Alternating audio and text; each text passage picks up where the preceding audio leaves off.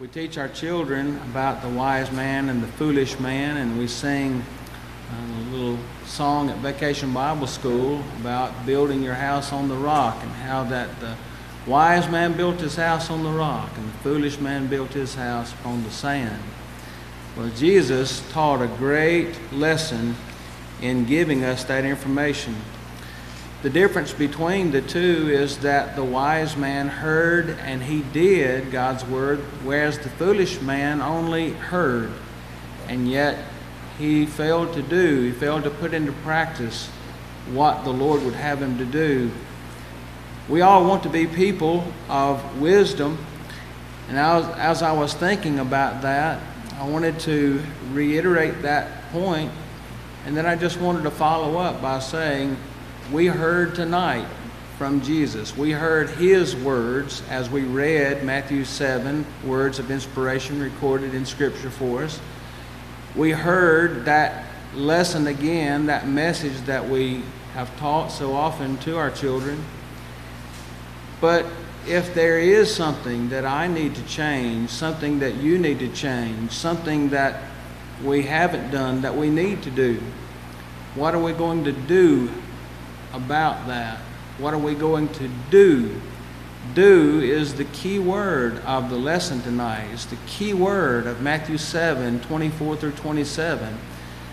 We might think, well, this was just an average Wednesday night. We came together for midweek Bible study. We did. That's a wonderful opportunity to come together and study God's Word. But we don't need to take the Lord's words for granted if there is something that we need to change, we need to be doers of the word and not hearers only.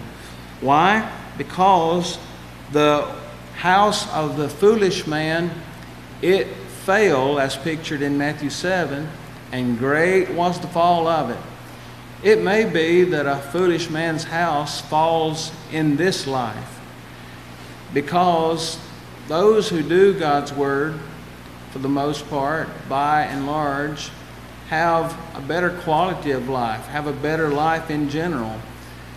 The commandments that God gives us are commands that are for our good. Deuteronomy chapter 10 and verse 12.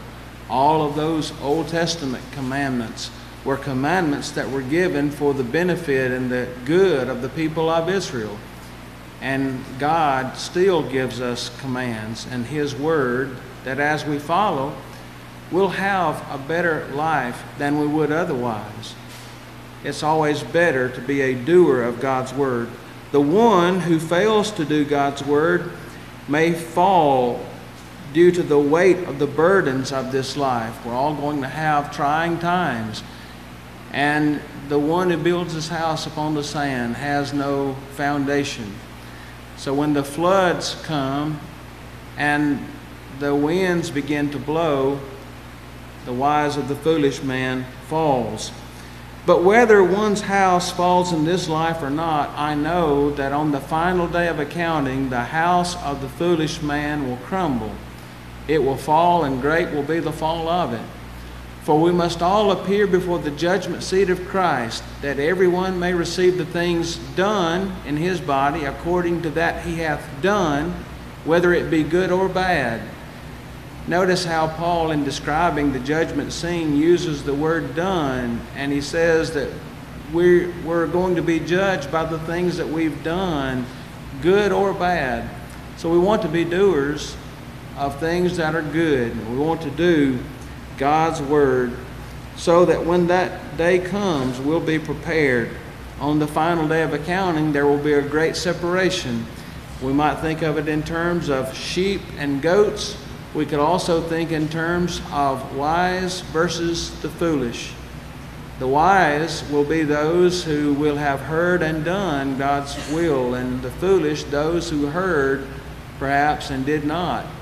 And the Lord will say, These shall go away into everlasting punishment, but the righteous into life eternal. Matthew 25, 46. So we want to be on that occasion among the wise. But every day we're deciding where we will be at the judgment scene, whether we'll be among the wise or the foolish. We're deciding every day by how we respond to God's Word, whether we receive it and apply it to our lives or we simply hear it and neglect to do it. We're going to sing a song of invitation tonight. If you've never obeyed the gospel more than anything, you need to be a doer of God's word tonight. You need to put your faith in Jesus as the Son of God. Acts 8:37. You need to turn from sin in repentance because this is God's will and commandment. Acts 17 verse 30. Confess your faith in Christ. Romans 10 and verse 10 and then be baptized for the remission of your sins. Acts 2:38. You'll be a Christian added to the Lord's church and this is God's will for your life, please do that while you have the time and opportunity. If you need to come home as an erring child of God, do what you know is right. Do what you know in turning from sin, and the Lord will forgive. He will abundantly pardon. Isaiah 55 and verse 7. As we sing the song of invitation, if you need to come, do so as we stand and sing.